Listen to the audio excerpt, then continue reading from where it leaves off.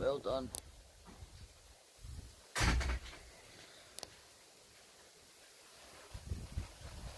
Just see how light it is. It doesn't get light until 9 o'clock in the morning in Lanzarote. Because, I think I've said it a couple of times now, we're living in the wrong time. In Spain, I mean. The wrong time zone.